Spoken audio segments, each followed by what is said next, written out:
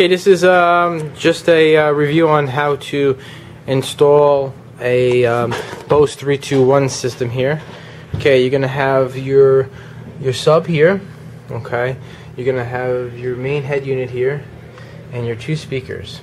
Okay, um, what you want to do is first take your your Media Center acoustic module cable, which looks like this right here. Okay, the other end looks like this. We're gonna screw that into here. And tighten those up. The other end goes on the bottom where it says Acoustimass module. That goes there. Then what you want to do is you're going to take your okay your speaker cable here. Okay, you're going to see it has a 9 pin serial on one end and just a, a 4 pin um, female on both of these ends here. Um, those go into the back of the speakers.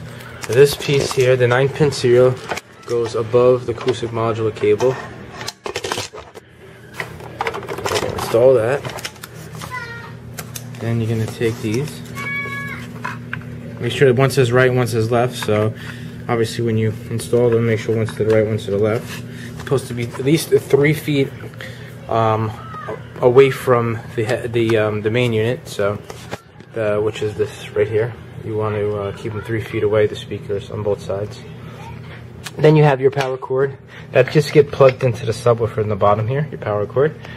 I have it hooked up just optical, right direct to the TV.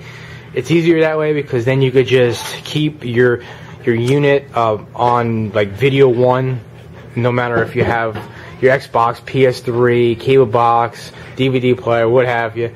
You don't have to keep switching in between all these inputs here. So just run an optical cable right to the direct to the TV to the unit here, and that will just save you a lot of headaches switching back and forth from inputs.